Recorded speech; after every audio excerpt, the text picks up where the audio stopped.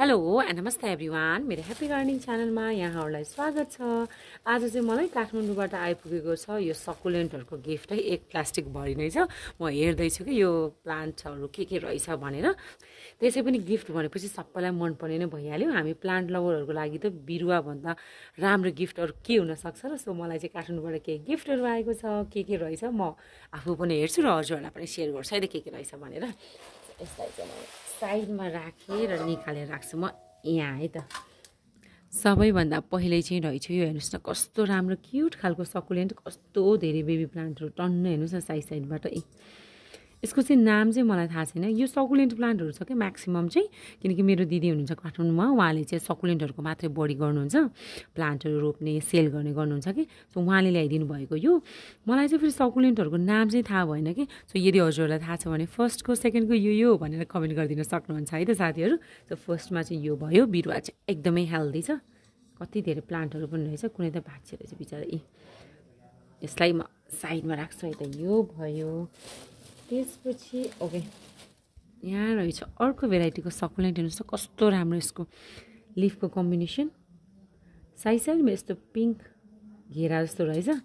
र हेर्नुहोस् न फुल पनि फुल्न सुरु भएको कि यसमा चाहिँ यहाँ चाहिँ सानो अर्को सकुलेन्ट रहेछ र यहाँ पनि रहेछ ए। सकुलेन्ट फेरि अर्को खालको यो चाहिँ मसँग रहेछ फेरि। सो यो भयो एउटा है यसलाई म साइडमा राख्छु। त्यसपछि फेरि यहाँ। यो पनि सकुलेन्ट ल्याइदिनु भएको रहेछ। यसको कलर हेर्नुहोस् त कस्तो मिठो आइरहेछ कि हेर्नुहोस् न। अब यो जाडो सुरु भइसँगसँगै चाहिँ फेरि सकुलेन्टहरूमा कलर आउनु सुरु हुन्छ कि? हेर्नुहोस् न यो चाहिँ सायद मसँग पनि छ होला। यसको पातहरू पनि यसरी झरिरहेको रहेछ बिचरा। बसमा ल्याउने बेलामा होला। यसलाई चाहिँ यो पातहरूलाई पनि म मिलेसम्म ग्रो गर्छु। यो भयो अर्को त्यसपछि ओके यो पनि कस्तो राम्रो हेर्नुहोस् न वा तर बिचरा हेर्नुहोस् न कस्तो भएछ ए यो है यो चाहिँ मसँग सानो बेबी प्लान्ट मात्रै थियो यो चाहिँ ठिक्कको साइजको रहेछ। यसलाई चाहिँ अब ठुलो पटमा ग्रो गर्नु पर्ला। साइड साइडबाट हेर्नुहोस् कति राम्रो राम्रो बेबी प्लान्टहरू आएको कि। यो सकुलेन्टको बेबी प्लान्टहरू यस्तो क्युट हुन्छ नि फेरि। झार पनि पलाइरहेको रहेछ। ए यसमा पनि अब कलर आउनु सुरु भएको छ। हेर्नुहोस् न यो चाहिँ छुट्टै खालको फेरि यो फरक अनि यो फरक हो कि। पात अलिक लाम्चो लाम्चो छ नि त। यसलाई पनि म साइडमा राख्छु त्यसपछि यहाँ रहेछ। फेरि अर्को प्लान्ट यसको चाहिँ दिदीले हाँगा माछा ल्याइदिनु भएको रहेछ। यसको पनि कलर हेर्नुहोस् न कस्तो युनिक के। ब्राउन ब्राउन खालको। यो चाहिँ मसँग छ होला सायद। औ यसलाई यहाँ राख्छु त्यसपछि मसँग छ यहाँ अर्को प्लान्ट ए हेर्नुहोस् न यो पनि यही खालको हो कि? सेम खालको दिदीले दुइटा ल्याइदिनु भएको रहेछ। यसको चाहिँ मलाई एकदमै मन परेको साइज एउटा बेबी प्लान्ट पनि आएछ अनि यहाँ हेर्नुहोस् न सानो अर्को के? यो सकुलेन्टको चाहिँ पातबाट हुने भएको भएर सँगै राखेपछि पातहरू भाँचिरहेको हुन्छ नि त। अनि जहाँ झऱ्यो त्यहीँ उम्रिने कि? यहाँ पनि रहेछ। औ किरा रहेछ। यहाँ एउटा सकुलेन्ट यो भइहाल्यो। यो भयो त्यसपछि अब रहेछ। यसको पनि दिदीले हाँगा ल्याइदिनु भएको रहेछ कि? भाँच्यो। ए कति धेरै पातहरू छ? यसलाई चाहिँ अब पातहरूबाट ग्रो गर्नुपर्छ। तर यो भाँचिएको रहेछ यसको। ए हेर्नुहोस् न ल। यो रहेछ ए। यो रहेछ कि मेन तर भाँचिएछ बिचरा। सो यो भइहाल्यो एउटा त्यसपछि अर्को चाहिँ यो। यो के भन्छ यसलाई? फिस बोन क्याक्टस न समथिङ भन्छ। यो चाहिँ फुल फुल्छ है अलिक छिप्पिएपछि मैले चाहिँ टिकटकतिर फुल फुलेको देखिरहेको थिएँ। यो पनि मसँग छैन कि? हेर्नुहोस् न ए कस्तो राम्रोसँग हेल्दी रहेछ है प्लान्ट चाहिँ। अनि यहाँ हेर्नुहोस् न पुरै जराहरू पलाइरहेछ कि? यो हाम्रो ब्रह्मकमलको पलाउँछ नि त्यसरी नै कि? पातबाटै पुरै जराहरू यो पनि पातबाटै हो रोप्ने। यसरी जराहरू पलाइरहेको रहेछ। यो चाहिँ जरासँगै छ। यसलाई चाहिँ म अलिक धेरै बिरुवा बनाउनु पर्ला। यसलाई म साइडमा राख्छु। ल मेरो चाहिँ एक थाल भयो है साथीहरू। भरियो। त्यसपछि यहाँ रहेछ मसँग यो ल्याइदिनु भयो रहेछ है चाइनिज मनी प्लान्टको बिरुवाहरू उखालेर ल्याइदिनु भएको रहेछ। यो चाहिँ यो चाहिँ बाँसला यो चाहिँ ए दिदी चाहिँ फेरि एक दुई दिन अगाडि नै पोखरा आइपुग्नु भएको तर म लिन जान नभएको भएर कुनै कुनै चाहिँ कुहिएछ ल यसरी। सी अब ट्राई गर्ने हो कि अरे? बाँच्यो भने बाँच्यो। बाँचेन भने के गर्ने? त्यसपछि यहाँ पनि रहेछ चाइनिज मनी प्लान्ट फेरि अर्को पनि रहेछ। यसलाई पनि म साइडमा राख्छु है त। भयो त्यसपछि अब यहाँ फेरि सेम भेराइटीको यो चाहिँ तिनवटा ल्याइदिनु भएछ दिदीले ल एउटा दुईवटा अनि यो।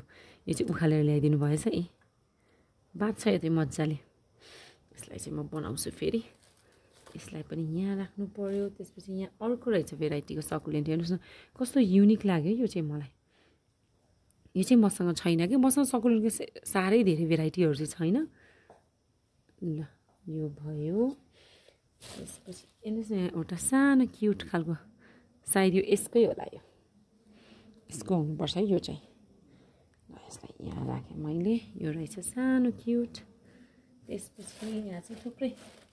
सरी हेर्नुहोस् न ए भाँचिएको कि बिचरा? भाँचिएको छ यसलाई पनि रोप्नु पर्ला। अनि थुप्रै पातहरू रहेछ हेर्नुहोस् त है पुरै माटो माटो भएछ। यो सकुलेन्ट चाहिँ फेरि पातबाट पनि भइरहेको हुन्छ नि त। यसरी ए हेर्नुहोस् त। यति धेरै रहेछ। यिनीहरूलाई पनि म ग्रो गर्छु है पातहरूलाई पनि। यसलाई पनि यहाँ राखेँ है त साथीहरू मैले चाहिँ ल। यहाँ हेर्नुहोस् न एउटा सानो बेबी प्लान्ट कति क्युट जरा पनि भएको फेरि आफू चाहिँ। यसलाई पनि राखेँ मैले सो ल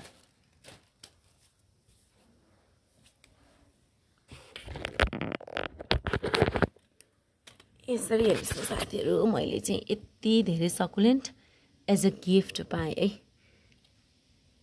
हेर्नुहोस् त यति धेरै। सो मैले अघि नै भने कति सकुलेन्टको चाहिँ मलाई नामै थाहा छैन कि? कति होइन प्रायः चाहिँ यिनीहरू भएको। कुनै पनि सकुलेन्टको मलाई नाम थाहा छैन। यदि हजुरलाई छ भने चाहिँ कमेन्ट सेक्सनमा कमेन्ट गरिदिनु होला। यो यस्तो राम्रो प्लान्ट फर्स्टको यसको नाम पनि भनिदिनु होला। ल। यो चाहिँ मेरो मलाई पाएको गिफ्टहरू है। गिफ्ट आइरहेको थियो अनि हजुरलाई पनि सेयर गरौँ न त भनेर कि।